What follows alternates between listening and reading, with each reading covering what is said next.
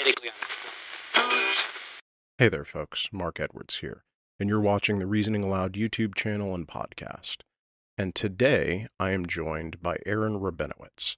Aaron is a professor of philosophy at Rutgers University, and he is also the host of the Embrace the Void podcast, as well as a co host of the Philosophers in Space podcast. And Aaron and I spend today's episode talking primarily about ethics.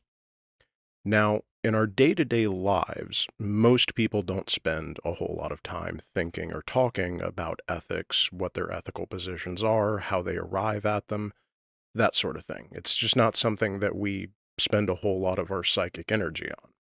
But ethics are important. Uh, they largely define how we interact with one another, the the how and the why of how we interface with our neighbors. In a very real sense, the law is an expression of our ethical principles, uh, how we should treat other people, what the consequences for not treating other people in that way should be. And this is something that's worth spending some time thinking about, uh, as is evident by the fact that there is an entire school of philosophy dedicated to it. And so I wanted to spend some time talking about that subject. And I couldn't have found a better person to have that conversation with. Uh, we first sort of outline our metaphysical positions. Uh, Aaron and I talk about how we think the world, the universe that we live in, is structured. And then we talk about the implications of that on how we both arrive at what our ethical or meta ethical positions are.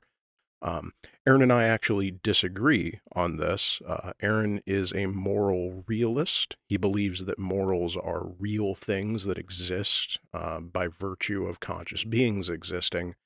Whereas I am more of a constructivist. I think that morals and ethics are things that we create ourselves and that we can just sort of have a conversation with one another about which is the better set of systems with relation to other things like conscious well being, and that we kind of build them up as we go along. But despite this disagreement, Aaron and I actually largely share the same normative ideas. We both think that you should be kind to other people. Uh, for instance, we both value personal autonomy. And though we disagree about the foundations, we actually agree largely about how those things should be implemented.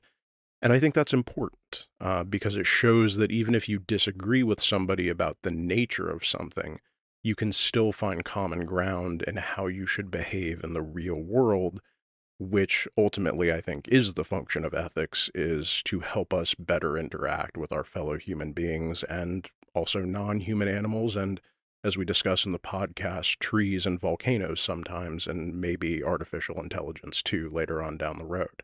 So it's definitely something that's worth thinking about, worth talking about, worth having entire podcasts and podcast series about. I think it's very important. And I was really thankful for Aaron coming on and having this conversation with me. Before we get to the episode, I want to give a shout out to all my patrons whose names will be appearing on the screen now.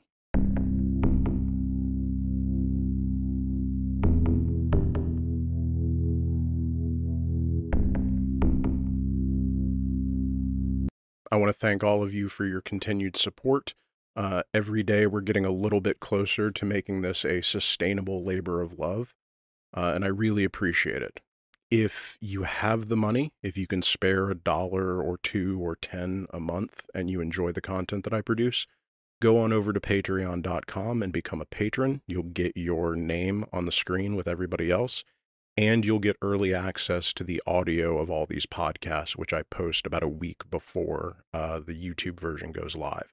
And if we get enough of you, I will be able to get a video subscription service, and you will all be able to get the video early as well. So get on over there and donate, become a subscriber, help me out with that, and I will get you something good in return.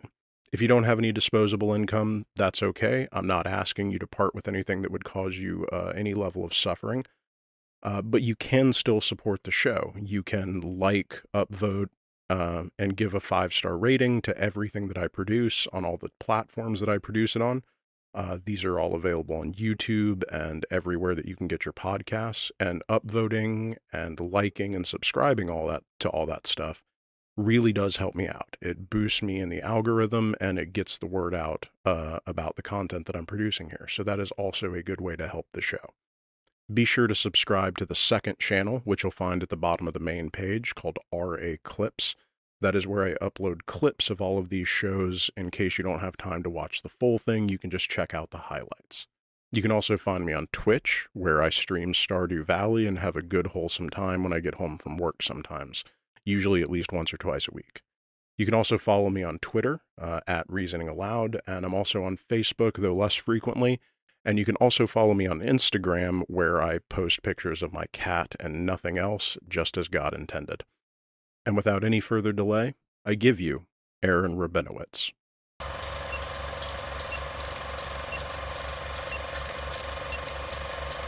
Aaron Rabinowitz, thank you so much for joining me.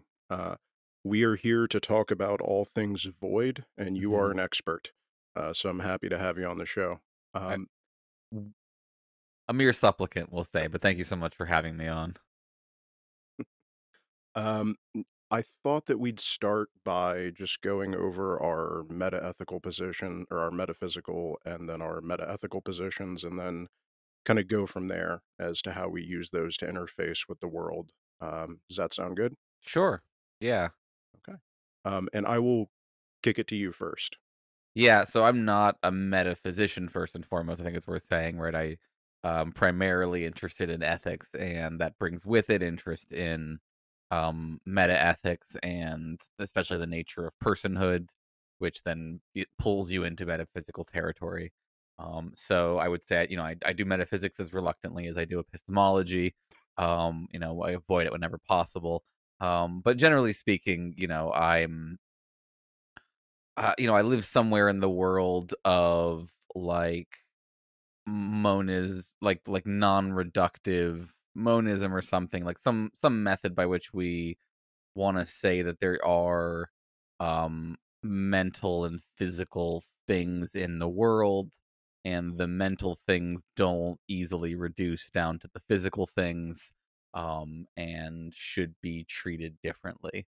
Um and that's uh, th- there's no easy metaphysics to get you all of those things together um but i i think i'm somewhere in the world of like there's one underlying physical sub you know un- underlying substance of some sort and then a bunch of properties um, and the relationship between those properties and the substance is beyond my understanding Okay. Um, so when you say that the the the thinky bits do not reduce down into the physical, can you elaborate on that? Yeah and this again immediately you start to have problems right but i think the the idea would be um you know one way you could go about this is saying there are like these are um non-physical properties that are instantiated in that emerge from physical systems. So I don't I don't take the route of the panpsychists and saying that like it can't be the case that consciousness could emerge as we understand it. So it has to be there fundamentally in the beginnings of the universe or something. Um I think it's the case that it does emerge, but emergence is another whole bucket of problems. Um, but basically Right. that it emerges in such a way where it has properties that are not reducible to the properties of the constitutive parts. So the one that is most significant to me as a philosopher is um, subjectivity, the way that your first person experience is fundamentally subjective in the sense of being given directly to you and you're experiencing it um, in such a way that no amount of description of the objective features of reality could fully capture what it is that you are experiencing. Okay.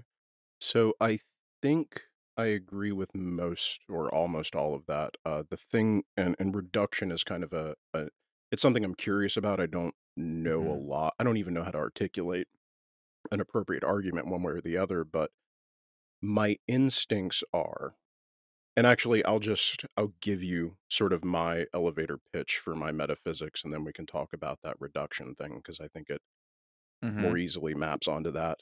Um, I actually like the way that uh, Sean Carroll describes himself as a materialist. I think that sums up my views very well and very shortly, which is there is stuff, right? There's matter and energy, and then that stuff conforms to certain predictable behaviors that we call the laws of physics. And that statement is a complete description of our universe. You don't need anything else to describe the world that we live in. Uh, and everything that we experience uh, is an emergent property of various sublayers of abstraction up from that. So you have the stuff. Uh, Mhm. It's you can talk about a fundamental existence, right? The the layer of like the of quantum mechanics, right? That's real. That's base layer reality. But it's equally coherent to talk about a system of chemistry. And at the level of chemistry, there's not a lot of uh, distinction between, say, a chair and its surrounding environment.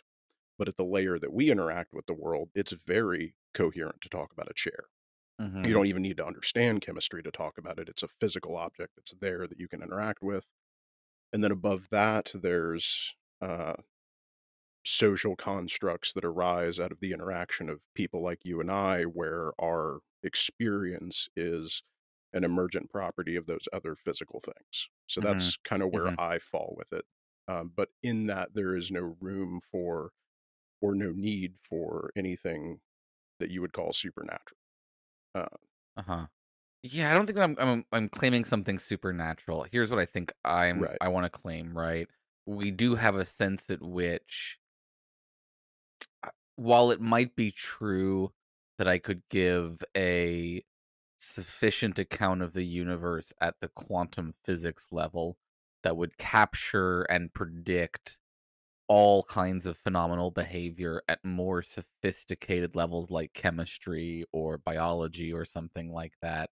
I mean, I think first of all, we have to say it's not going to be the most useful or functional account, right? Like you were saying, an account that talks about things at the level of biology and chemistry is better than one that only talks about it at the level of quantum physics.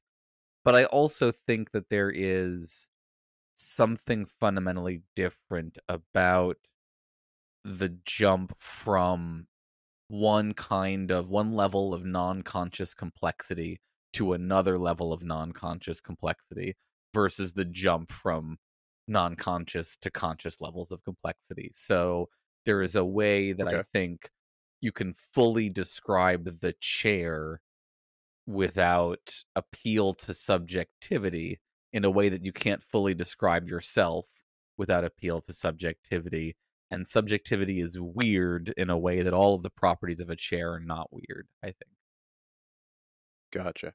Um, so, right, I wasn't trying to, I'm not trying to characterize your view as no yeah supernatural. I yeah for actually sure think, yeah, um, I think uh, everything that you just described actually maps neatly onto what I also think. hmm Um, and I actually agree with you that there is some, there is something to their subjectivity that is not neatly captured in that way hmm um, which is what makes it so interesting and important. Um, right whether or not that's just a bias that we have by being creatures with subjectivity, uh, I don't know. But I wonder if, hmm let, let me give you an example. So, um, let's say we can't reduce our conscious experience to a to any level of material description. That's a, is that a claim that you're making?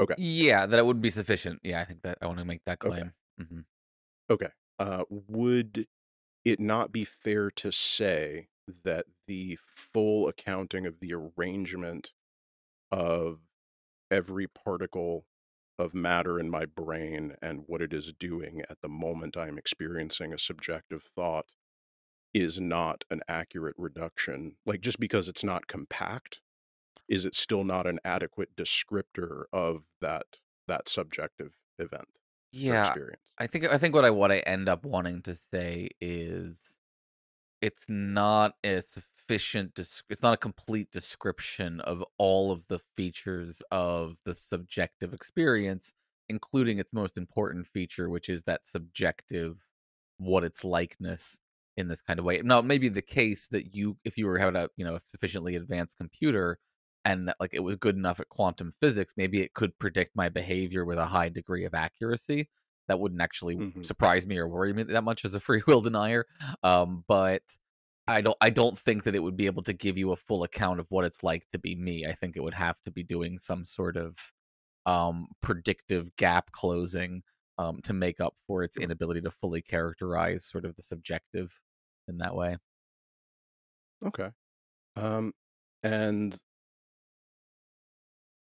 so I don't know that I even know enough to disagree with that. Uh, Mhm. I'm I'm actually fairly agnostic on this point, um, because I I do think that there is something to interrogating the subjective in that Mhm. way. So like uh my my education on this comes from reading like a few of Nagel's papers and uh, a few other people.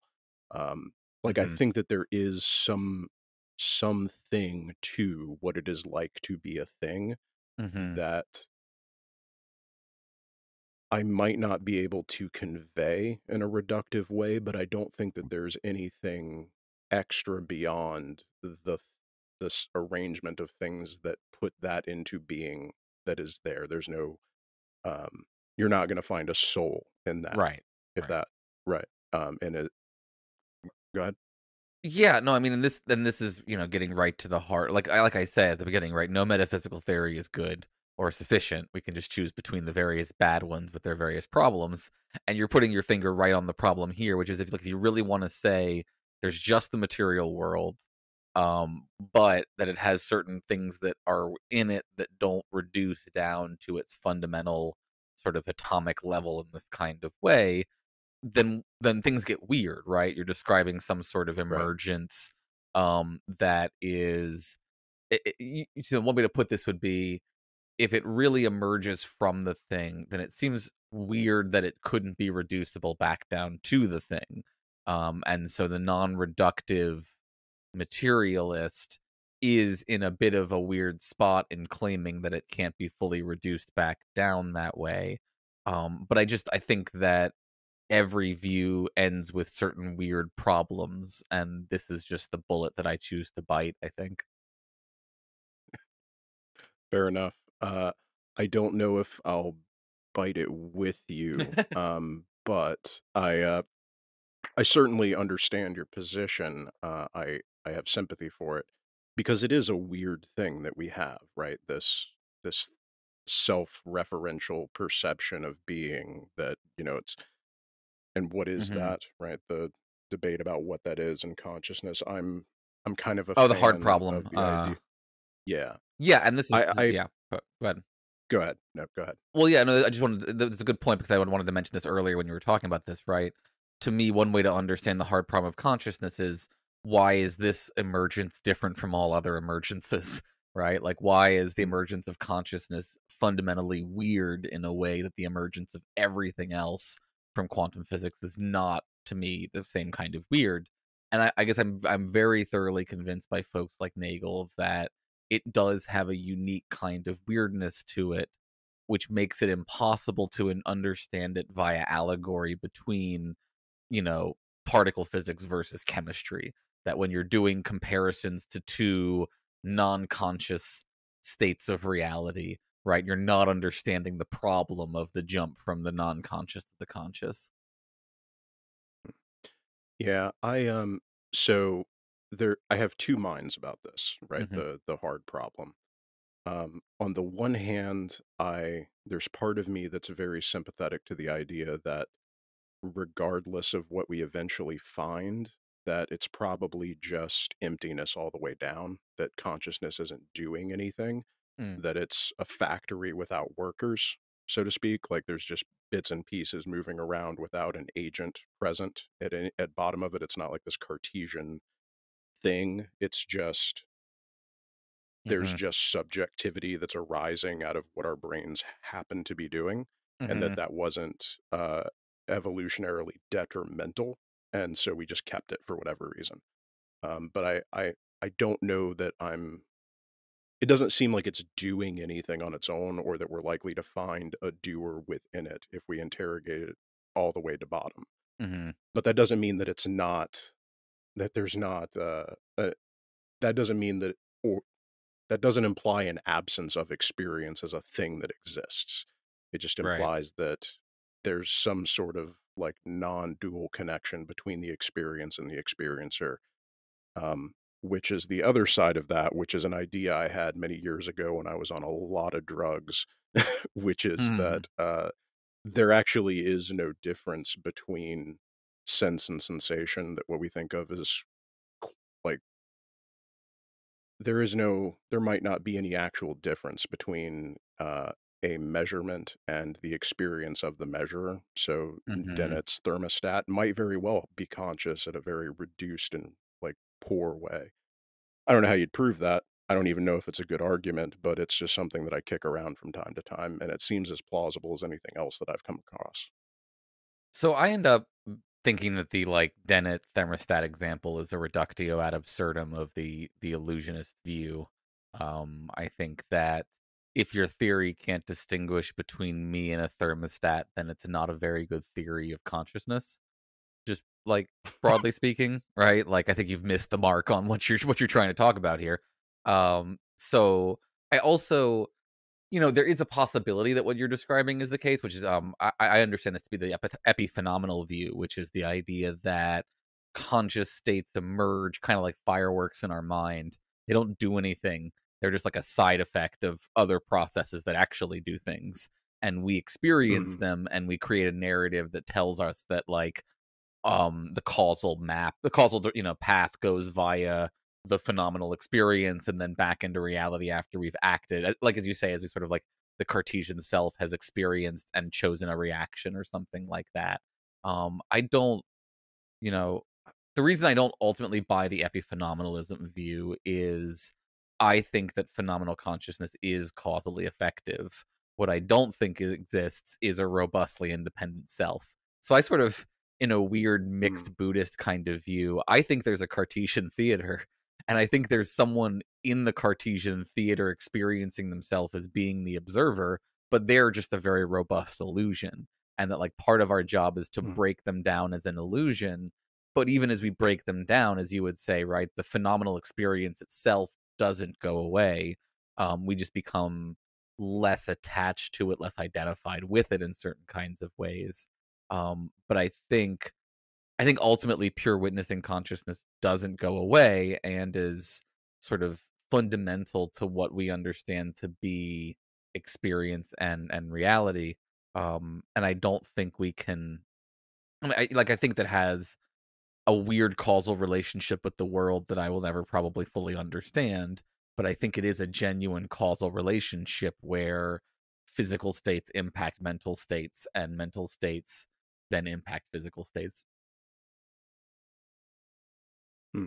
So I, I would agree that it has a causal relationship with the world. I just don't know that I'm convinced by the idea that there's an actual observer. I would be more sympathetic to everything you just said if we could, if the theater itself was the observer, that there was no actual like different, like you're you're talking about there being an observer, and I don't see a need for that. We can just have the theater experiencing itself as well as the projection that it's showing. Yeah, no, I, Um, I think you could argue that's the ultimate place you're trying to get to is yeah, recognizing that like the observer is part of the theater and is constructed alongside the theater and like both it and the theater are kind of weird abstractions in this way um as long as we sort of recognize that recognize these two claims right which is phenomenal states exist and they are given in a direct first personal way to something right there's something that's doing the experiencing even if that thing is not a independent radically free self but rather just the part of the flux that we you know cleave off and identify as the self yeah. I, I don't think that I would. I think I would sign off on that. hmm Um, and what that ultimately shakes out to is a matter of debate, and I'm probably not competent enough to participate in the nitty gritty of the debate. But would me it be fair to say, well, you're far more than me. um, would it be, uh, you got a couple letters after your name I don't have. Um, they mean they mean it, very little but yes okay, okay.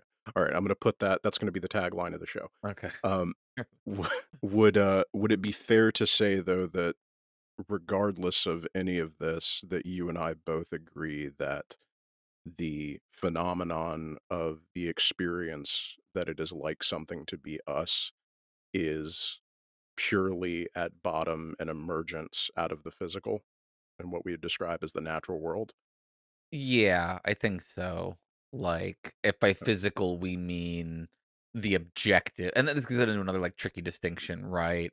Like, if we're talking about like the subjective versus the objective, right? I think if we want if we want to say by the physical we mean the parts of reality that can be described sufficiently using purely objective language and concepts and descriptions and such like that, then yeah, I think the subjective emerges out of the objective um and is part of the objective and even like weirder like i think some of our mental like we can make we can make objective claims about our subjective mental states in various kinds of ways um but yes i think ultimately I mean, let me say,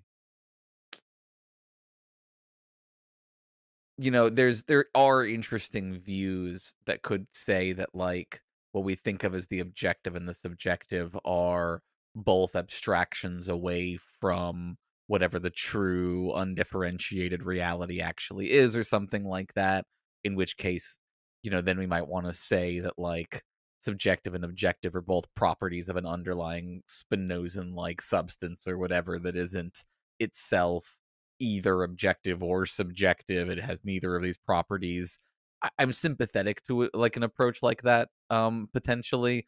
But I think maybe at the ultimately at the end of the day, it's not going to be fundamentally that different from what I think like a non-reductive materialist has in mind. Okay.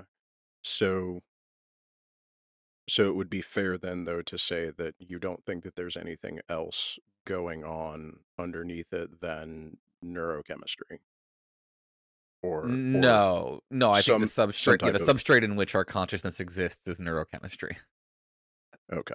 Um good. And uh I think that we're both aligned there certainly. Um so that puts us in an interesting position as conscious beings on a physical substrate without anything outside of that hmm impinging on us to compel us one way or another to behave towards the rest of the universe or each other or ourselves, hmm which brings us to how do we figure how we should do that? What are what are our meta hmm ethics in that world where there is just neurochemistry with uh experience and subjectivity on top of it? How do you arrive at ethical ideas from that?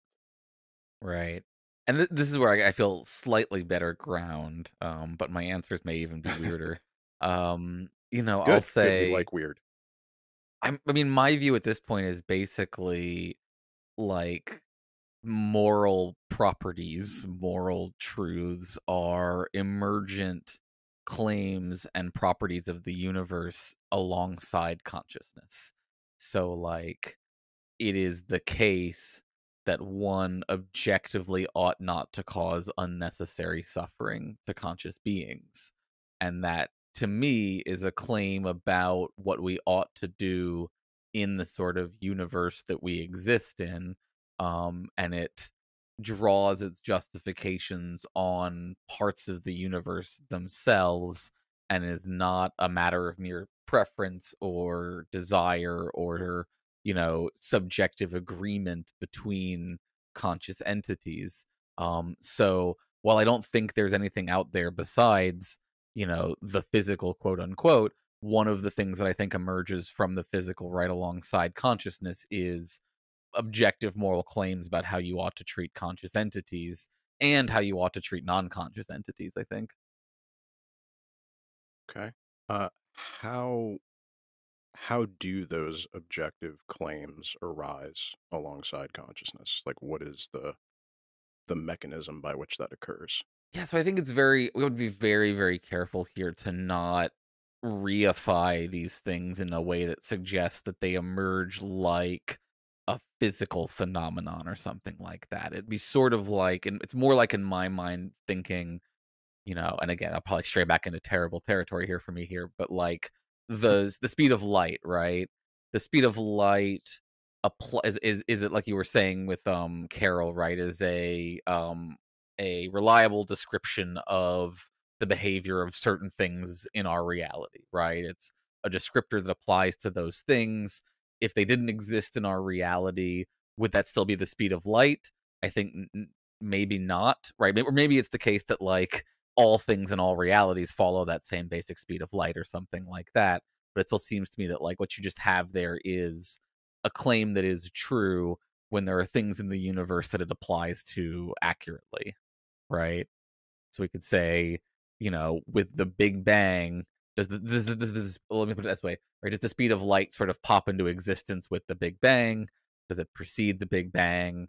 Um, those sorts of questions. I, I think similar things could be said about um, ethics and what exists in the universe right so if you have some some might argue for example that if you have a universe that has no conscious entities in it whatsoever right then there'd be no morality in that universe it wouldn't matter if the universe blinked into or out of existence at any given moment um i'm i'm a little ambivalent i'm a little uncertain on that kind of claim um but i i think there could at least be something there and for our purposes right let's just we'll just set aside other meta ethical concerns for a second and just talk about sentient beings and their suffering, right? If you think that all ethics and value is attached to the to conscious entities and their well-being, um, then I think you might say, you know, the universe prior to the existence of conscious entities has no moral valence one way or the other.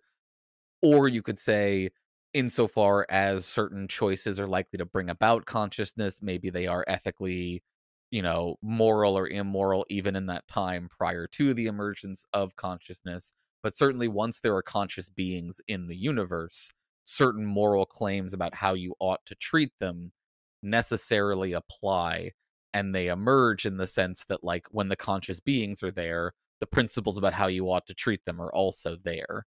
Um, as like, you know, law like descriptions about how you ought to behave towards conscious entities that make any make any sense?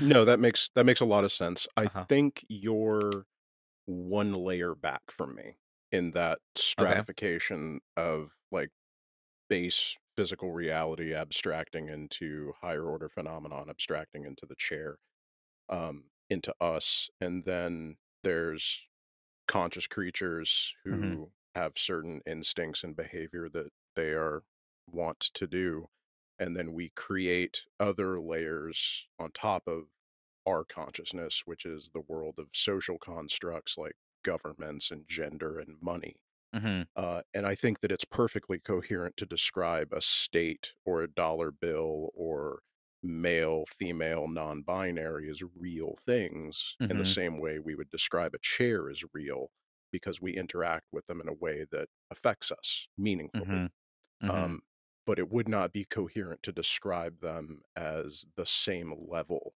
of reality. One abstracts into the other. Hmm And what I would say is that the place of morals is it arises in kind of a liminal space between where we live as conscious beings and the things that we create. So it's a Mhm. layer back from states and gender and money but it's not quite at the level of the chair or neurochemistry. And Mm, I don't think that there are objective moral truths that exist in the universe that like a kind of like a platonic ideal that we could compare our truths to. But if we set certain axiomatic goals, like we Mhm. prioritize the well being of conscious creatures, then it becomes perfectly reasonable to say some things are better at achieving that than others. And even though we invent our ethics, it's perfectly reasonable for me to try to convince you that mine are better with relation to that goal. Does that Mhm. make sense? Yeah, so a few things there. Uh, There are views that are called like intersubjective views that say, you know, morality is neither purely objective nor purely subjective. It's some sort of intersubjective thing.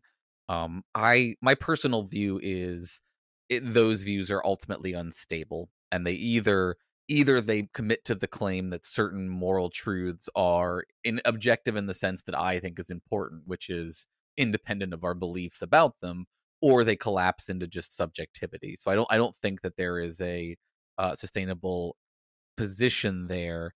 Um, now, re- regarding like things like society and such, my under my sense of it is that we have two we have two important questions here in meta ethics at least right? One of them is the grounding question what grounds our meta ethical claims right? What makes our moral claims true or false? And the other is how do we get access to that knowledge right? What is the mechanism by which real individuals like you or i have any hope of gaining access to moral truths right? And there i think Mhm. the process is via a lot of social interaction and debate and stuff like that um, those kinds of methods but what I think is important is the methods that give us access to the truth are not the same things that ground the truth itself. That the moral truths are independent of our access to them in a robust way. And that allows it to be the case that we could, as a society, for example, fail to grasp those moral truths and have them still be true, even as we as a Mhm. species go about doing the wrong thing for, you know, as our entire history, for example. Um, so yeah, to me, they are independent in the sense of being independent of any individual's beliefs about them. So it's it's wrong to call, you know ha- keep humans as slaves, um, even if everyone in the world, including the slaves themselves, have been brainwashed into believing that it's actually good to keep slaves. Right? That's that to me is what makes Mhm. it objective and sort of independent of our minds in this weird kind of way. So I would say that it's an ob- objectively true that it's bad to have slaves if you value human well-being. Um, Right. Okay. Right. So and good. it So seems it, Mhm. so it seems like you're pushing the idea that valuing the well-being of things that are capable of experiencing well-being is on its own a sort of ethical truth that impinges on us Yeah. before any before we even start the conversation. exactly and right. I don't know that I'm willing to sign off on that, but I, Uh-huh. I I'm I'm curious if you can explain uh like how how does that how does that truth exist like objectively in the universe? Is is it separate from us? Does it arrive via us? Like what is it and our relationship to it in this view? So again, I think it's much like the speed of light in that it exists, hmm but it isn't like a thing out there existing. It's a description, right? But it's a description. So you you mentioned earlier that you think that like, you know, we have to accept certain axioms as true and then from there our ethics can follow. And my view I think Mhm. is certain axiomatic objective ethical claims are true and it's not that we construct them Mhm. or imbue them with truth it's that we recognize that they are true we discover them as such um so like things like all Okay. things you know all things being equal you ought to respect autonomy you ought to promote flourishing you ought to reduce suffering you ought to enforce rights all those sorts of things to me and, and this is like maybe i'm just a very basic philosopher i'll be honest i just I, take a simple kind of foundationalist approach to this and say you know i can unpack the meaning of those statements more and try to help you understand why i think they are axiomatically true um but like you know, I don't expect to be able to convince everybody that they are axiomatically true, nor do I think I have to be able to. I think that people are just going to be wrong about moral truths, just like they are wrong about non-moral truths. Like that, like there's no there's no evidence, there's no justification, I think, for claiming that for something to be an objective truth, you have to be able to, even in principle, convince everybody that it's actually true. Um, so I don't think that's a necessary criteria. Yeah. Would it be fair to say though that if something were objectively true that you should in principle be able to adjudicate whether it's true or not? Not necessarily I don't I don't I don't think necessarily. So like it if if something is true, would it not follow that there is should be at least in principle whether or not you actually have the material means to do it just in principle you could arrive at an understanding of that truth. You could acquire that information. Or you could observe it in some way eh, Y- Sh- y- So should I, that not be a property of truth? well, what I would say about it, uh, first of all, right, it depends on like we may just be very screwed, right, when it comes to epistemology, right? It may just be the case that like truths, broadly speaking, are not very accessible or not at all accessible to us as human beings, and they might still be true. Like to me, I think access and truth come apart in this kind of way. Um, I, I'm sure there are epistemologists who will disagree with me about that, but um, yeah, I think I, I I think look what I what I should be able to do is I should be able to explain the meaning of all of the concepts involved in one of these axiomatic moral claims um point to the way that they correspond to features of reality give examples of the way that this principle plays out in reality show that it is always true in every situation that we can imagine. Those sorts of activities, I think, are the best that you will get in terms of, you know, the process of conveying and convincing other people about an ethical truth or something like that. And I think that's I think that's fine. Like I think I, you know, we, I wish we I much I much would much prefer if we could build a machine and it would like spit out a note card that says this moral claim is true, this moral claim is false. Um, but I wouldn't I don't think we would ever be able to do that or necessarily rely on that machine's judgment solely. That gets into fun super intelligence AI questions. But like, uh, yeah, sorry. I think I think we shouldn't assume that something being an objective truth implies anything about our ability to concoct a sufficient account of that truth that it will, in principle, be compelling to everyone. So, so not necessarily that it would be compelling to everybody, but just that we could, in principle, arrive at an just any like any one human being Mhm, could, in theory, ar- arrive at an understanding of it in some way, mhm. um, in a way that is concrete and objective. Um, not so much that we can convince everybody of it, but that it remains possible to, in theory, know that truth in a non in a uh, non-falsifiable way.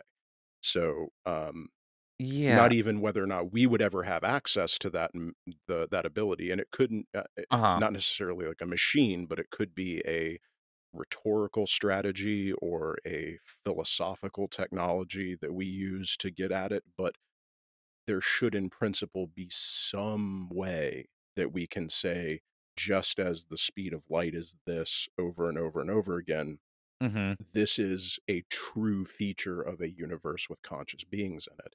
And I don't see how we would do that with morals. And and that's where I, I have a hang up about it because let let me let me make a moral claim here. Okay. I think that the well-being of conscious creatures is something that we should value at a fundamental level.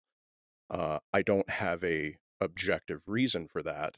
I could try to convince you of it one way or the other, but at the end of the day, it's a thing that I think we should care about, and I hmm that's all I got. hmm And I'm perfectly okay with that. And I'm perfectly okay saying the Nazis were bad, hmm right?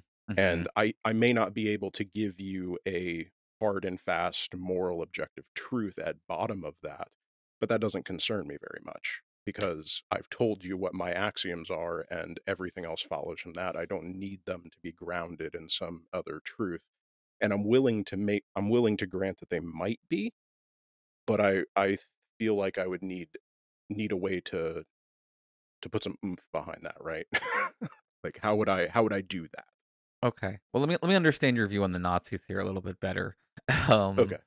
you know, when you say you think the Nazis are bad, it sounds to me like what you're saying, based on what you just described, is you're saying if you agree with me about certain fundamental ethical principles, then you ought to think they are bad as well. Is that correct? Yeah, that's the that's the extent of my Right. But you don't you don't in think that people should necessarily agree with you about those or, or at least that you feel like you don't have a way to make a case that everybody should agree with you about the principles that get you to that conclusion.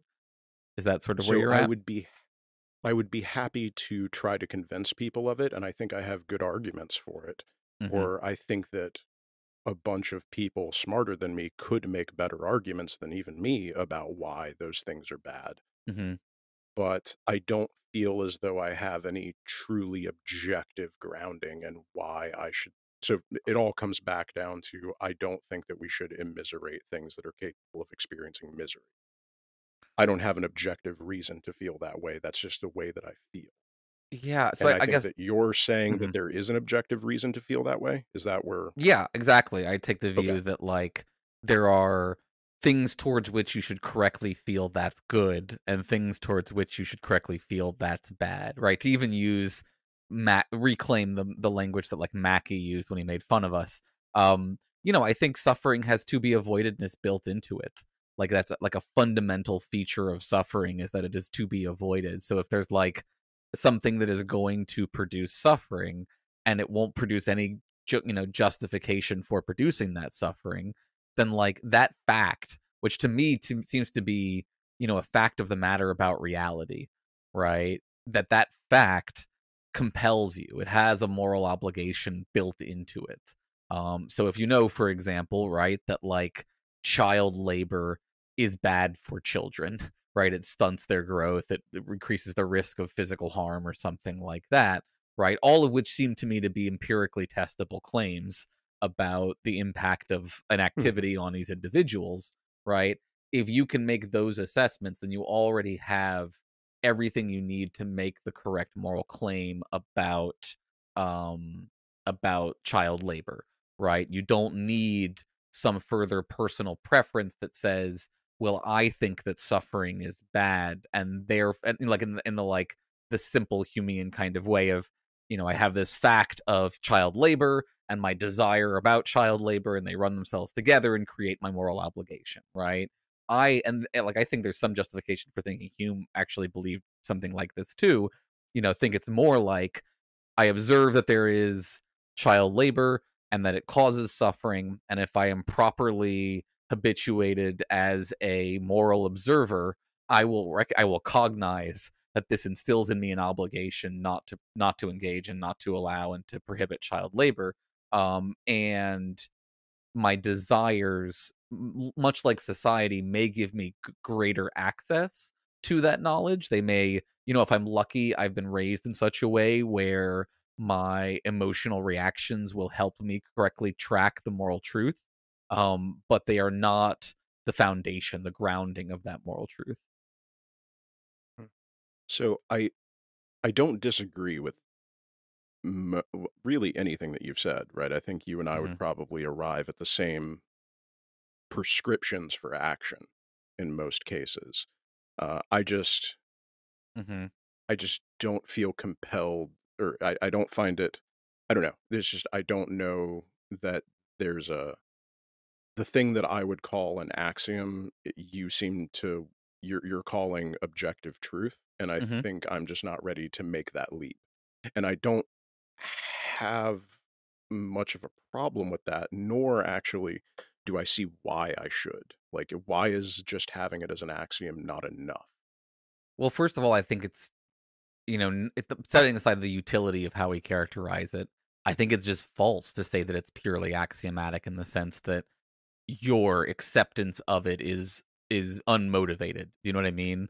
Like the way Mm. you sort of describe it, it's like you voluntarily acquiesce to a moral axiom and then act based on it.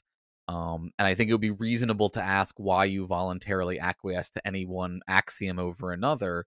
And with enough digging, I think we would eventually find that like you recognize that there's a fundamental value to certain axioms and their products over other axioms um, and that there's reason to choose your axioms over the axioms of a nazi for example um, but if if you don't sort of adopt my view i think um, at the ultimately at the end of the day you have to say you know if everybody in the world was a nazi and thought that nazism was correct that there wouldn't be anything wrong with being a Nazi in that world.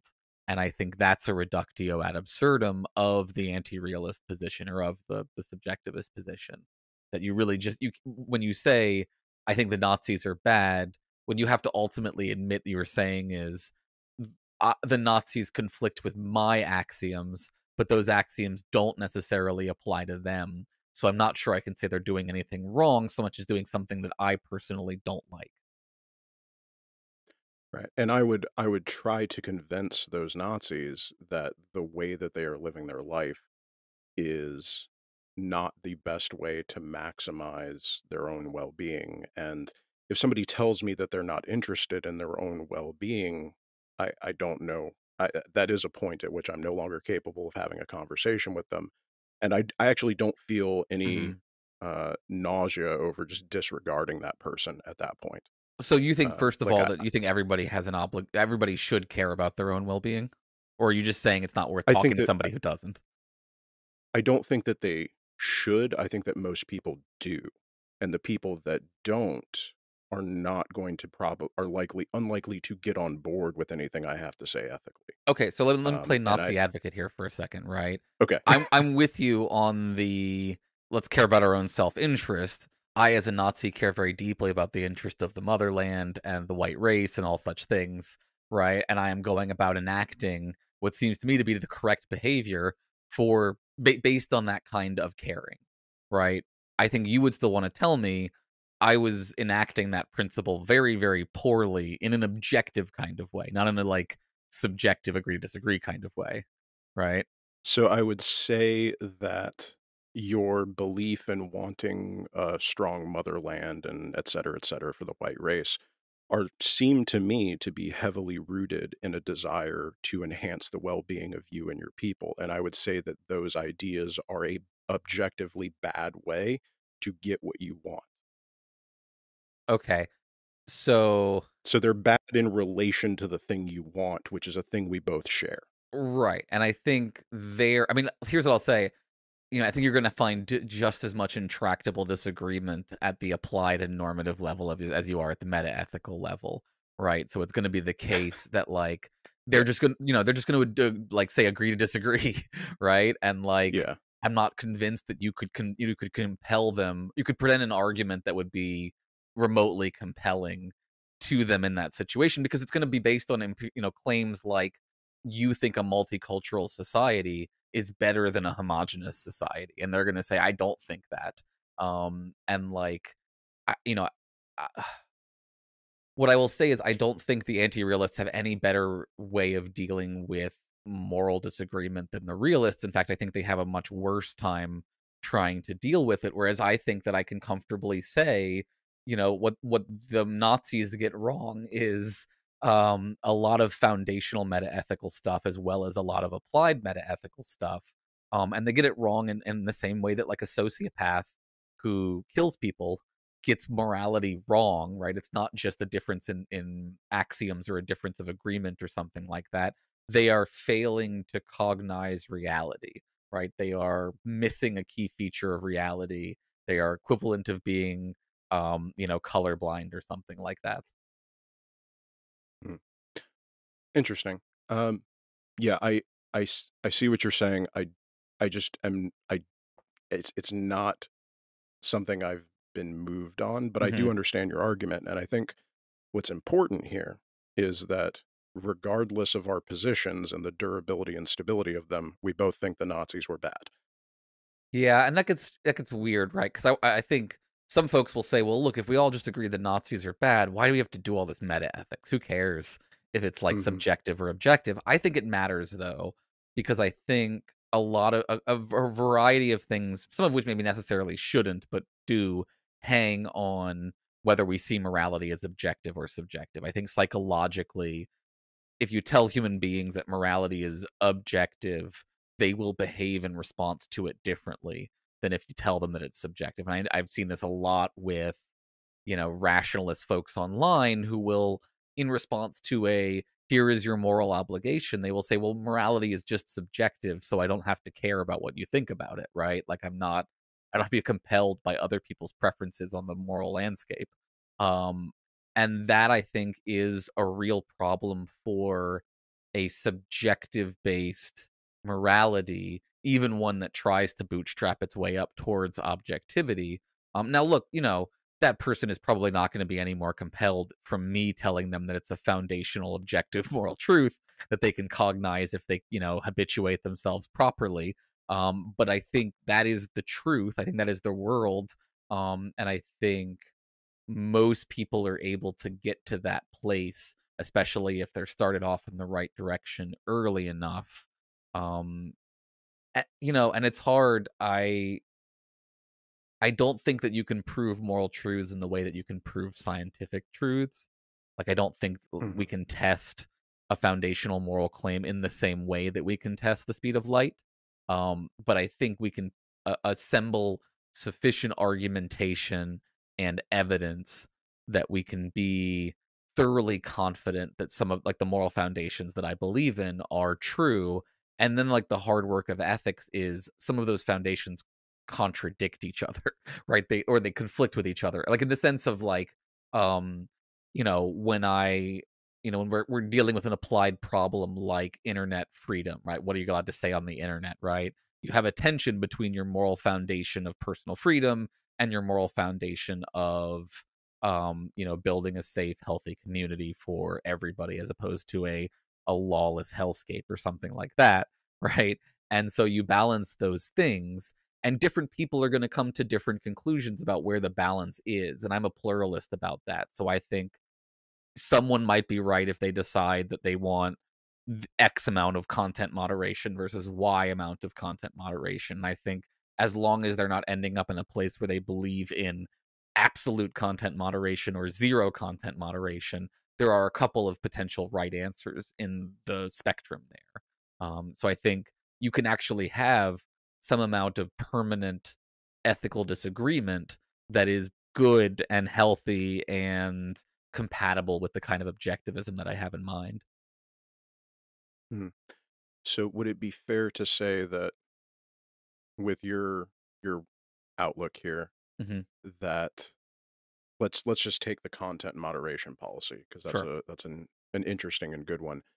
There are at bottom objective ethical truths Mhm. and then we should be able to from that extrapolate a solution set to individual problems like content moderation that is a that is objectively true because it is you know whatever sort of calculus you use to arrive Mhm. at it from your initial uh from your initial presumptions it you can follow that chain that algorithm very reasonably Mhm.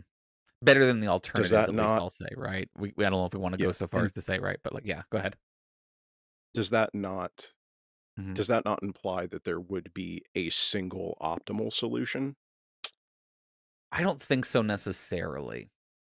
Um, okay and the reason is because I think it, if you were to say like for there to be an optimal solution, I think you would have to it would have to be the case that you could in theory construct a hierarchy of the foundational moral truths that says, you know, in cases where justice and mercy are in tension, pick justice over mercy or something like that.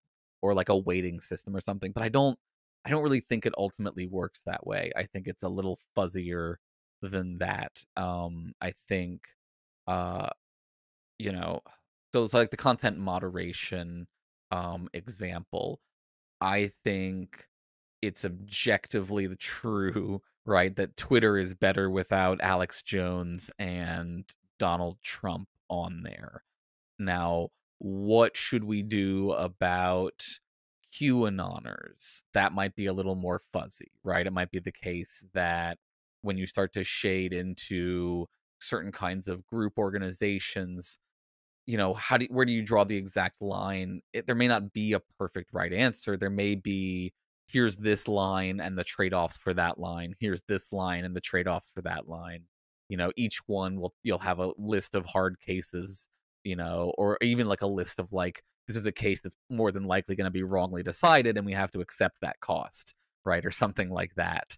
Um and so I think ultimately at the end of the day, in that in that area, in that spectrum of possible right lines, there is no there is not necessarily a rightest line. And this actually gets into some really weird stuff that I learned about in um Larry Temkin's class about like spectrums of uh responses to moral problems where it may be the case where there may be weird transitivity issues that make it the case that no one line is actually the ultimately true right line. There are just several true.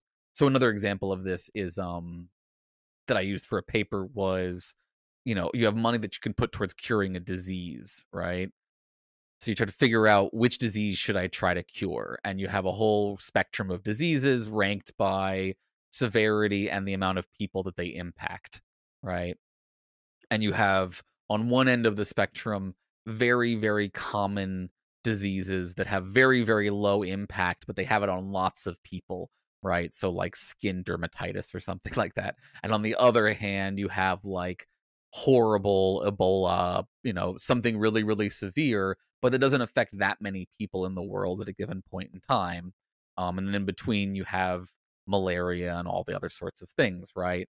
Where on that Mhm. spectrum is the actual disease that is the optimal disease for you to you know allocate your resources to right? I think the answer is it's somewhere in the middle of that spectrum you know but it could be any number of things from malaria to yellow fever or something like that depending on like what what actually is in that sort of moderate range of affects a fair number of people affects them fairly severely you know et cetera et cetera Okay. So I'm actually very comfortable with the fuzziness. Mhm. Uh, that I, I I like the I like the fuzzy. Uh, when people start giving me hard uh moral truths that have to be followed, I get nervous and I usually leave. Uh, so Mhm. I'm glad that Fair. we we agree on the fuzzy.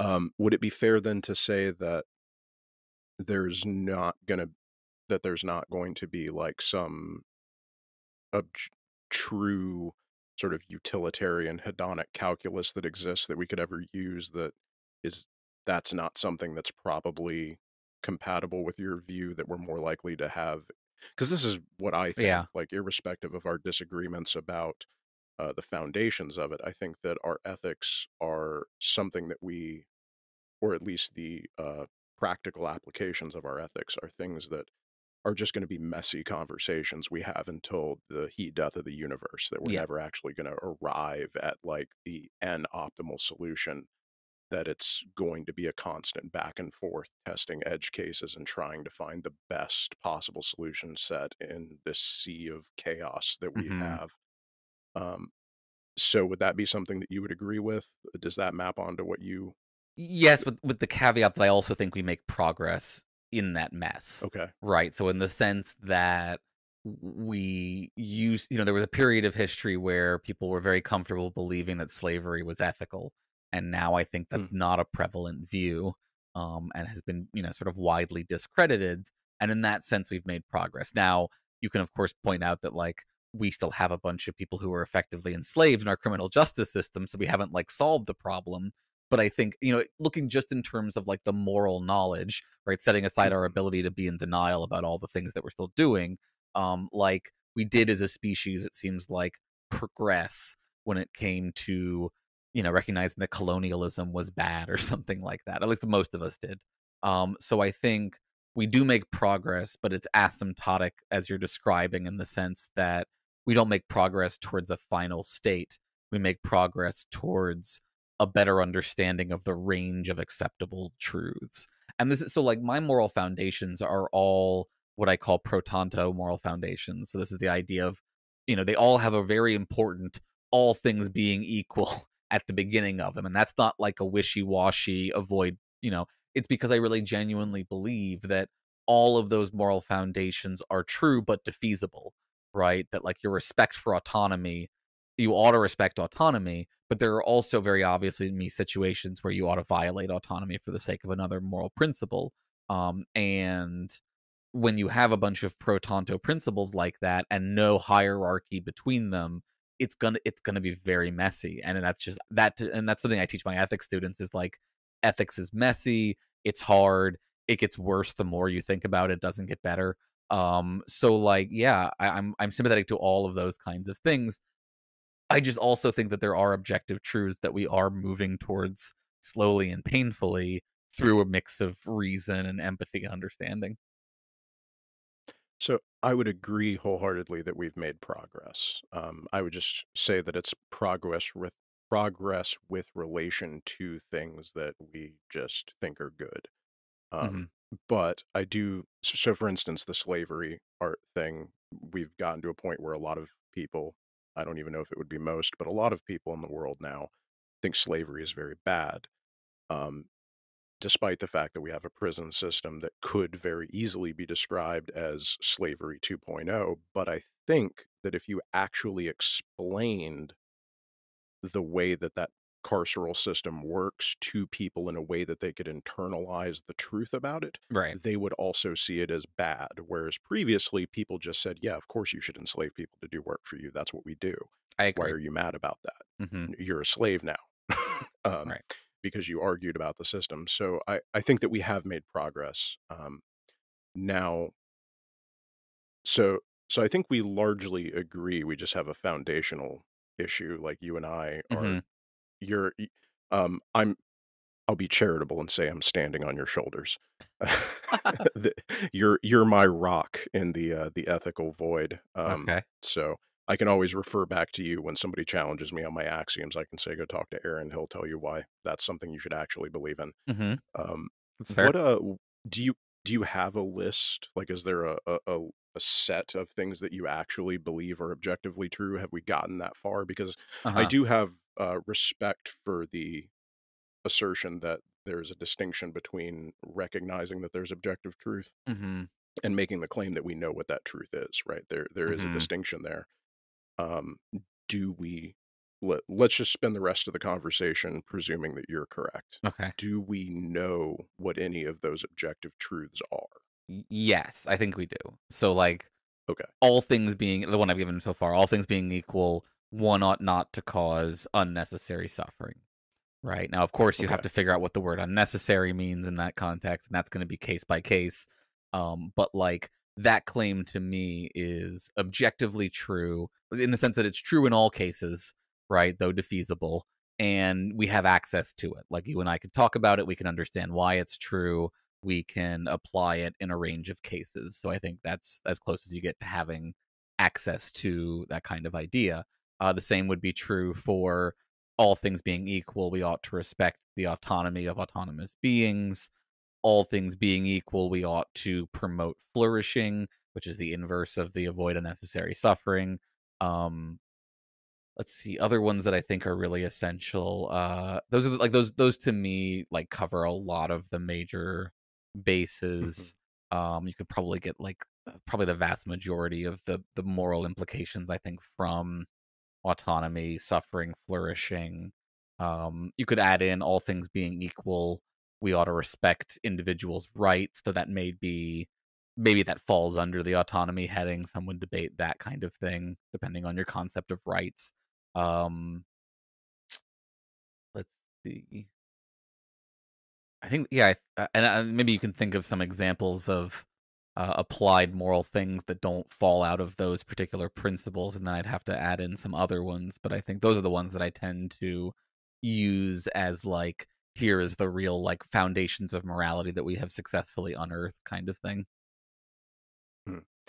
Interesting. So I, I don't disagree that those are all things that I like. I share uh, Mhm. your your assertion of those, and uh, we'll we'll agree to we'll, we'll agree that they're uh, they're all actually foundationally true for the rest of this. Mm.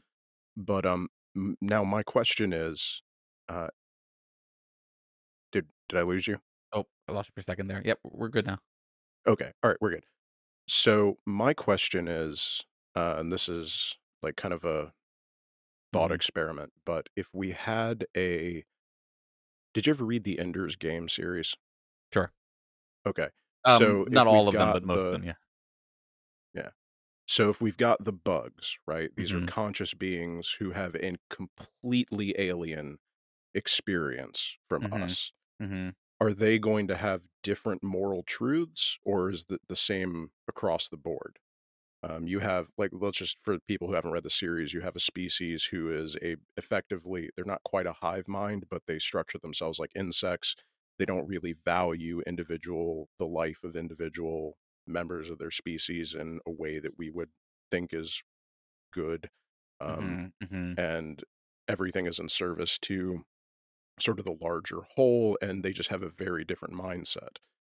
Do they have a different set of moral truths? And if so, are they, can we commingle together? Is there like a, a space for us to have a Mhm. shared? moral system? Yeah, so this is a question I get a lot, of course, on the science fiction side of things. Uh, we just talked about this recently over on Philosophers in Space with the Bobiverse series, which has another kind of hive entity um, in it. And and where I ultimately come down is their moral foundations will be the same as ours. They may apply differently, and they may get sort of a different range of acceptable results. So, for example, let's say the end you know let's say the buggers in in ender's game don't have autonomy or like maybe only queens have autonomy or something like that right if that would genuinely was the case and it wasn't even possible let's say to a you know like to free them so that they have autonomy right they're not like enslaved or something they just literally lack the capacity for autonomy then it like doesn't make any sense to try to respect their autonomy right it just doesn't it isn't there um now if they are phenomenally conscious, as I think I don't I don't think they actually huh, I don't remember in Ender's game if they decide if the buggers are phenomenally conscious or let's just pretend that they are. Let's pretend that they are, right? Pretend they are. Then you still yeah, have an obligation. That they are. Right, you still have an obligation not to cause unnecessary suffering to them, just like any other sentient being. And they have an obligation, I think we could say, not to cause unnecessary suffering to each other, though they might not necessarily acknowledge that moral obligation. Um, but I ultimately think so. It, you know, there are there's a weird complexity about like if they are sufficiently like non-human animals in certain ways, you know, maybe we don't get involved, right? Like we, we don't wade into nature and try to prevent lions from eating gazelles, nor should we do so. Um, nor is it the case necessarily that like if this is a species that like is cannibalistic and eats its own or something like that, that may not necessarily be something where we have a moral obligation to intercede and prevent them from doing so. Um, now, if it turns out that these bugs are space Nazis and they're going to murder every species that isn't them, right? Then we have a strong moral obligation to try to stop them from doing so, even I think if doing so would involve exterminating them as a species.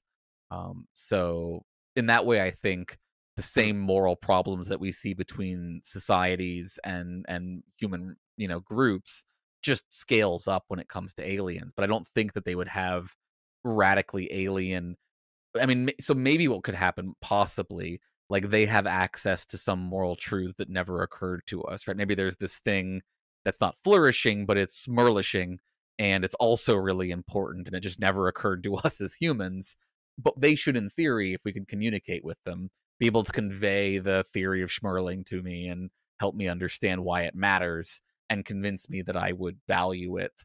And there should, in theory, as we were saying earlier, right, at least in principle, be a way for me to understand why it's valuable and adopt that as something that is valuable. So um, I don't think you know if they if they have different moral foundations from us, it's not that they fundamentally have different ones. Is that they may have contingently gotten access to different ones than we have but even there, I think it's much more likely that they would have the same basic moral foundations around fairness and justice and all these sorts of things if they are the sort of species that has access to moral truths at all. Interesting. Did you um did you ever read the the novel Blind Blindsight? Yes, Blindsight uh, is one of my favorite books. I teach it for my AI ethics class. Yeah, it's it's yeah. amazing. Yeah, it's a great book. Okay. So how how does uh for, first off let me ask you do Mm-hmm. you think for the people that haven't read this uh blindsight is effectively a novel about and I, I don't know if this is spoilery or not but spoiler warning uh, humanity makes contact with an alien civilization where subjective conscious experience is not a thing uh, is kind of the gist of the novel Yes. and Yeah, I agree. hmm uh, do you think that it is one possible for us to for a advanced life form that is capable of advanced cognition to exist without that experience so just a a race of p-zombies Right. and two would they have the same moral uh sis- would the morality apply to them in the same way that we would apply it to one another is there a what is Yeah. the overlap there do we have moral obligations for a cognitively advanced thing that does not have a subjective exp- internal experience we Right. also talk about AI and like you said. Right. Good. Exactly. Uh, well, yeah, and I think we could reasonably say that that Rorschach is a kind of um AI. It seems like. Um. Yeah, and I will. I will I will first shamelessly plug we did like a three parter on Blindsight over on Philosophers in Space, and one of the parts was specifically meta ethics and moral realism and the question of is there morality in a universe that has no consciousness in it? Um, what is our moral I'm gonna check that obligation to entities that don't have uh, consciousness? And I think it's a very good question. Um, I ultimately think, and this is what you know, I, I I set this aside earlier, but now you've asked, so I'll unpack this. I ultimately think that we have moral obligations to non-conscious entities. So take trees, for example, right? I think you have a moral obligation not to just cut down a tree for funsies. And like that's true even if no one is benefiting from the tree. And it's true even if the tree itself is not conscious, right? I think that it is a kind of entity, and we could talk about it in terms of it's eh, eh, like I think there's something that's like for the tree to flourish, I guess would be one way to put this, right? To use another one of my moral foundations, we know what it looks like when a tree flourishes versus not. Cutting it down is clearly not. So, all things being equal, you ought to respect the flourishing and promote the flourishing of trees, just like other entities that can flourish. Um, now, I think Rorschach is also the sort of entity that can flourish. Um, and in that sense, we have at least a, a pro tanto obligation to respect the well being of Rorschach, just like any other sufficiently complex entity. We might have a, an overriding obligation to kill Rorschach because Rorschach presents an existential threat to everything else in the universe potentially. Um, but if we do, we should recognize that we are we are doing something that comes at a moral cost and we're doing it for an overriding alternative moral obligation. It's not that there's no obligation to Rorschach, it's that it is diffused by um a, you know an, an obligation to everyone else in the universe, for example. Um now could they arise? I, Hmm. I yeah, I think like it, it doesn't seem impos- impossible impossible to me that you could have an entity that evolves via a path that doesn't rely on phenomenal consciousness for its processing.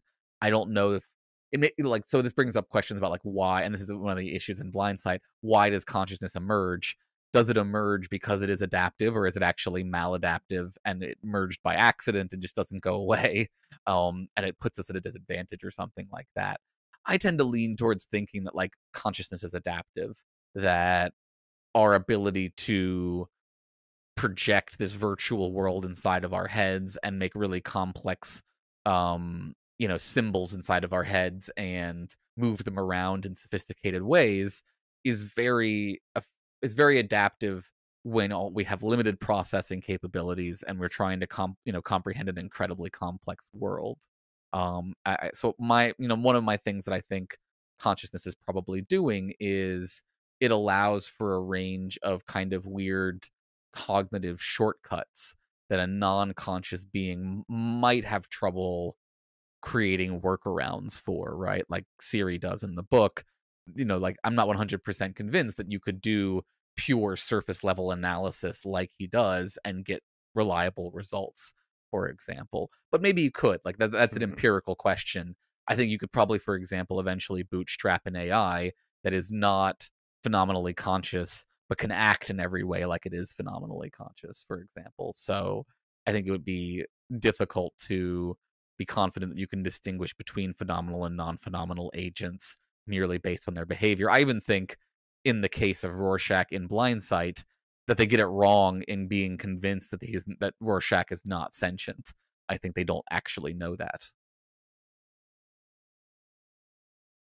Yeah, I, I actually agree. I think that uh, in the novel, it's not clear whether it, it actually seems to me that the thing is operating in a way that you would expect something that is capable of having agency to act, Mhm. and whether or not you need subjective experience to have agency is, I guess, a different question. But um, I actually, so this goes back to my kind of understanding of the way I Mhm.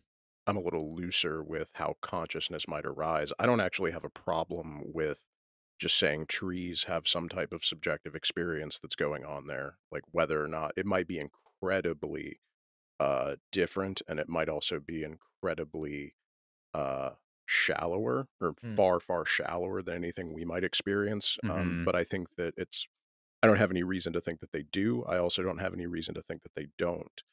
Um, but that I just I, don't know why they like I'm I'm Yeah. kind of substrate independent. I don't know that the level of processing that's occurring, information processing that's occurring within that thing is not sufficient to produce something like a subjective experience.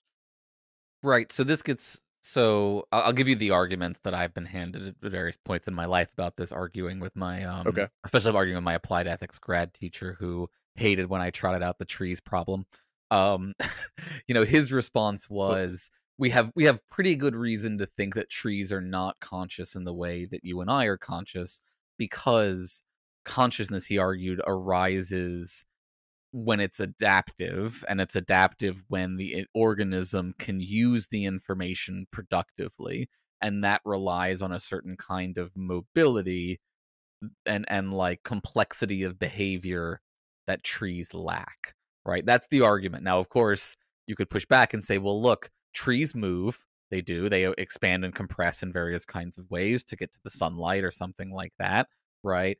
Their trees engage in some sort of something that might look like communication via the uh the cilia under the ground from what i understand. So like you can start to try to build this kind of case that their behavior is sufficiently complex that maybe it does prove consciousness but i think that just sort of shifts the line problem to a different space and either what you're going to end up doing is sliding Mhm. into panpsychism where you're going to say well i don't like the line at trees and I don't like it at protozoa even. Maybe it just does. Maybe there is no line. Maybe it really just does go down to electrons and thermostats and stuff like that.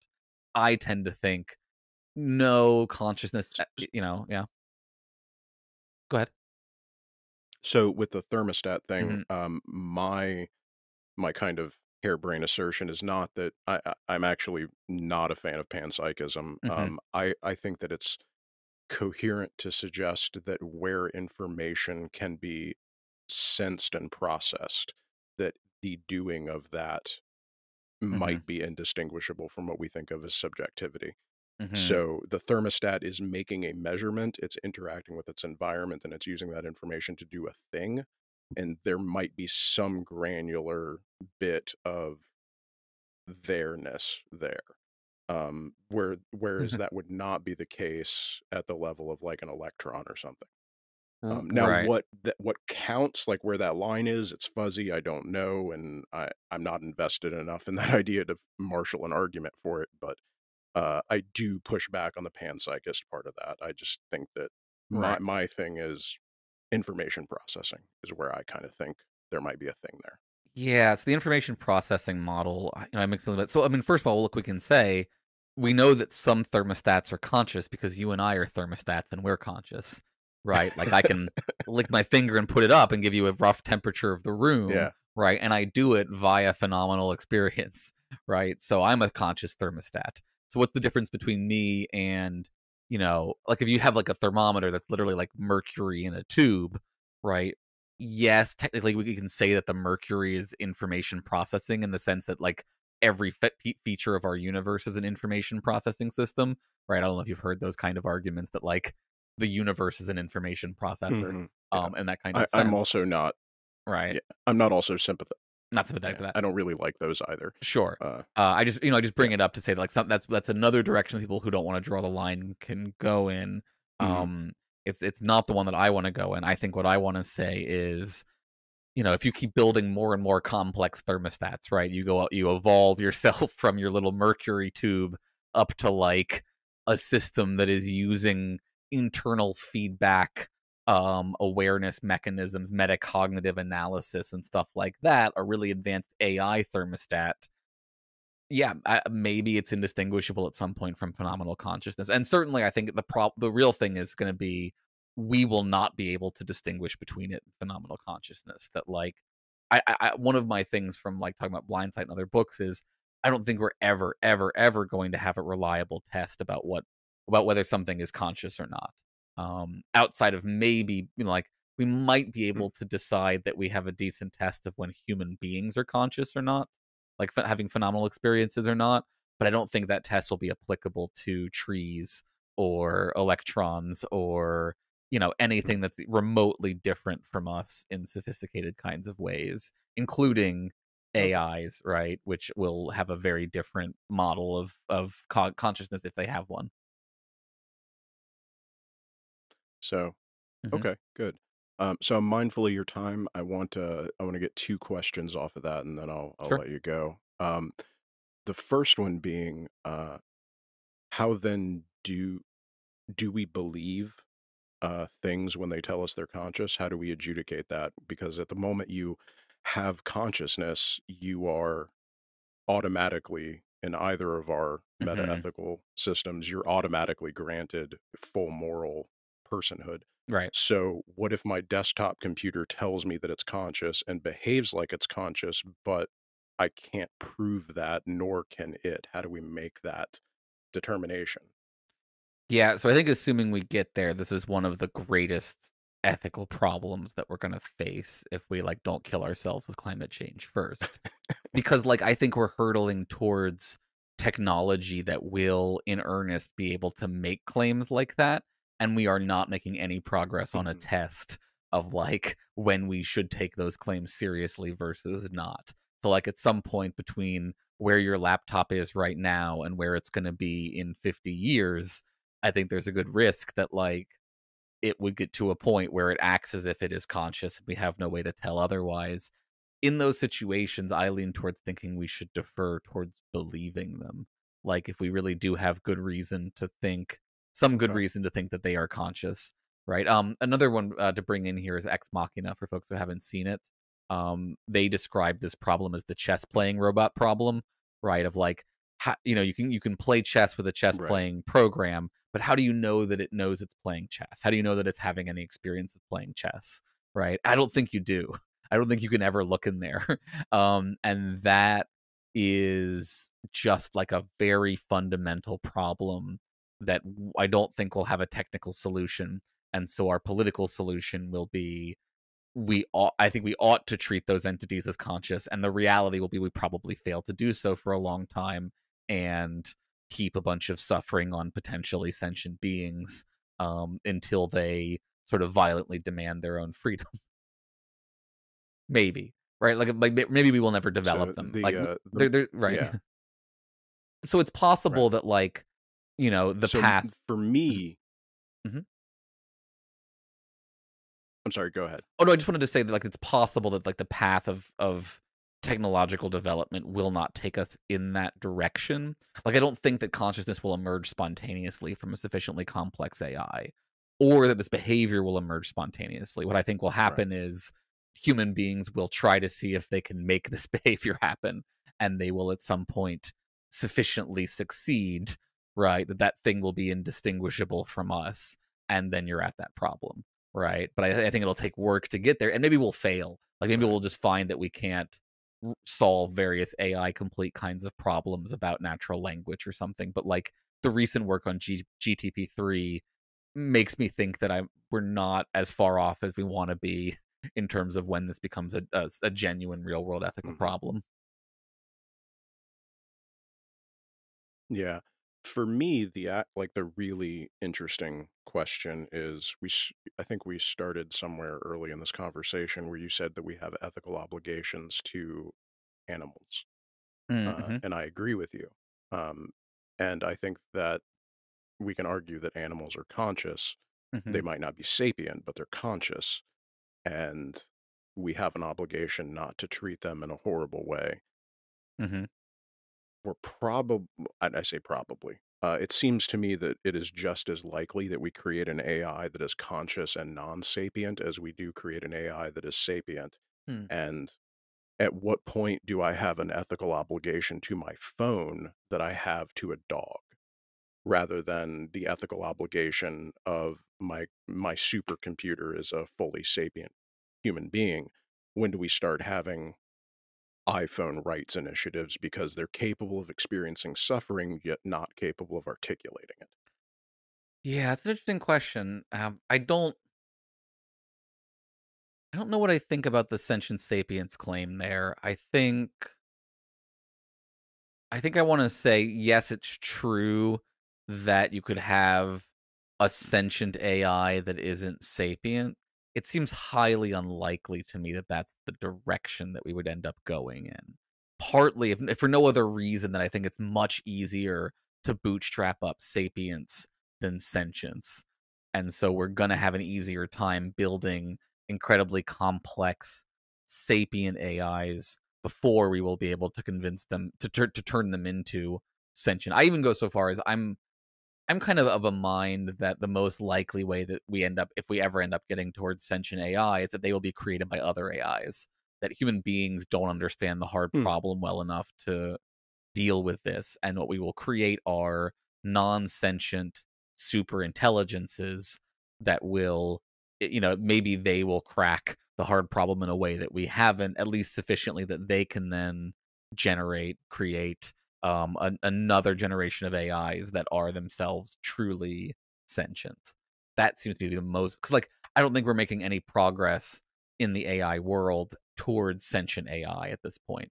We're not building things that are moving in that Mhm. direction. We're building things that are becoming much more sapient, but not necessarily more sentient. They now their ability to be sapient is increasing their ability to mimic sentience, and that's where I think what we're going to see is the problem is we're going to have highly, highly sapient AIs that can, in every way, mimic the behavior of sentient entities. And at that point, is there a meaningful distinction between that mimicry and genuine sentience? Probably not in terms of how we ought to act towards them. Right. Uh, No- no, I, oh. I would completely agree. hmm I sorry, I realized I didn't No, actually I answer your I question about about the um about I didn't answer your question about like cell phones. I don't think that cell phones or things like that are moving towards sapience and or moving towards sentience in a way that we need to worry about in that kind of sense. Right? I think it's more like we will Mm. create a kind of software that can be installed on a sufficiently advanced technology that can mimic the behavior of a sentient en- entity. Um, and maybe you'll, you know, you, maybe you'll put it on your cell phone at that point, but it won't be Uh. any different than the, the supercomputer version. I actually, uh, my my instincts are that it'll that if such a thing are capable or possible, it would probably arise out of a self-driving vehicle that's been Mm, told to perform a certain series of like delivery tasks and has to interact with its environment and other uh other beings like itself. I think that's more likely to Mhm. me. I don't know why I feel that way. It just seems more likely to have some level of self at that point you if there is an adaptive advantage to self-awareness, that is out of which it would arise, it seems to me. that's certainly an Um, interesting idea. at what If you had like a sufficiently like uh, non-stochastic, sort of open-ended learning AI, and like its primary purpose is just, um, you know, sensation and reaction, right? It's not trying to do anything more complicated than observe its environment very accurately and then react to that environment very quickly. Um, maybe it rewrites its code in such a way that it produces something that's equivalent. You know, I, I get nervous. I don't want I don't want to give people the impression that we're going to easily stumble into sentient AIs, and so I tend to like lean on skepticism when it comes to right. that happening. But I think that's a really interesting idea that like yeah, if you were going to get a non-sapient sentient AI, that I think is a good idea about where it might come from is something that's job or like an AI that we build to mimic animals, for example, right? Really, really advanced robo puppy AI or something. Um, could be another situation similar to that. hmm Yeah, it seems to me that the most likely way to get it is to set up circumstances under which we presumably developed it and the history of the evolution of animals is I mean, nature did it once, possibly multiple times. I, I don't see why, given the same set of circumstances, we couldn't arrive at that with an appropriately uh, calibrated machine that was actually more capable than us in terms of information processing and rewriting its own capabilities. hmm Um, I don't. I agree with you though that I don't think we're going to wake up tomorrow with Skynet. Um, No. I think that it's probably going to be something. I would expect actually that what I just described would be an intentional project taken on by a bunch of really, really nerdy grad students hmm somewhere at MIT who set out with the goal of doing that. um, Mhm, I rather than anything else. Um, so the other question that I wanted to ask you was, uh, so we've talked about non-ethical obligations of us towards non-conscious beings. Do you think that it's coherent to describe or talk about the ethical obligations of non-conscious beings towards other non-conscious beings? So like do trees have we we have moral obligations to trees. Do trees have moral obligations to other trees? Yeah, right. Is it is the moral obligation of a volcano not to destroy Pompeii? Um, this is a this is a fun topic for me. Is that even a coherent thing to talk about? Yeah, well, it's a weird topic for me because I'm a free will denier, and so I and I get into this place Gotcha. right where I reject the idea that ought implies can in a way that a lot of people take for granted. So this is the classic idea that like you can't have a moral obligation that you are incapable of discharging or something like that. I think that's not quite mm-hmm. accurate. So for example, if I have a sociopath, right, who doesn't understand morality, just genuinely can't be motivated by it at all, right? I think they still have a moral obligation not to kill people, even if they are incapable psychologically of acting based on that moral obligation, right? Then, if I'm being honest, I don't think there's necessarily anything fundam I I like I have not been able to come up with a val a sufficiently salient difference between that sociopath and a volcano. You know what I mean? That like the the sociopath is in the same Yeah. relation to their moral No, and I'm actually on your side with the free will thing. Right, and so the sociopath is in the same relation to more moral Yeah. obligation that the volcano is, right? They can't understand it and they can't act based on it. And I'm willing to bite the bullet and just say, look, yes, in a sense, the volcano ought not to explode and kill a bunch of people. We don't expect it to ever live up to that obligation, but yes, in principle, I will say it is it is immoral for the uh, for the uh, volcano to do that thing. If that if that's what it takes for me to be able to say it's objectively immoral for the sociopath to kill people, then then I'll just bite that weird bullet and be done with it. Okay. Um, I don't think I don't think I don't think anything I bad follows from it. I guess is what that. I'm like. I, I've yet to come up with something like Right. horrible consequence of biting that bullet. So like I'm willing to just be really weird about moral obligations on that particular question. Yeah. Just every time a volcano erupts, we surround it with bells and yell shame. Right. Um, well, well, that's the idea, right? So the act of shame or or or you know moral ob- punishment or something like that only makes sense if you're like going to affect the entity's behavior or some other entity's behavior. Like you're going to Mm. convince the other volcanoes not to erupt, right? If you're in this kind of situation, then like it, it makes as much sense as trying to continue to convey morality to the sociopath. I think, um, but that doesn't mean that we can't put an early warning systems around the volcano so that when it's going to erupt, people don't die. Right, we, just like we take the sociopath and put them in a confined environment where they're not going to kill anybody. Right, we we still rec- we still recognize that it is correct to do those things because of the moral harm that would be caused if we didn't do those things. So they can't act on their moral obligations, Yeah. but we can enforce those moral obligations onto them. So the the moral obligation then becomes to mitigate and ameliorate the behavior. Mhm. Um, however, one can manage to do that. If you can't convince the entity to do it, then you enact structural uh, structural impediments to that behavior in some way, shape, or form. Right. Uh, good. No, I agree. Uh, I'm glad that you're willing to bite the bullet on that. Um, that's a, a weird. It's it's a weird one to chew on, but uh, if that's, I, I I admire the conviction. Um, so I think that's probably we're coming up on time. Uh, Mhm. Just tell everybody where they can find you and uh, where you're at and how they can follow you because you got a couple projects going on and all of them are good. Yeah, so you can find me on Twitter all the time at ETV Pod, and you can find my writings primarily at the Merseyside's uh, UK Skeptic Mag, um, not the Michael Shermer Skeptic Mag, the American one that's terrible. This is the UK one that is not terrible.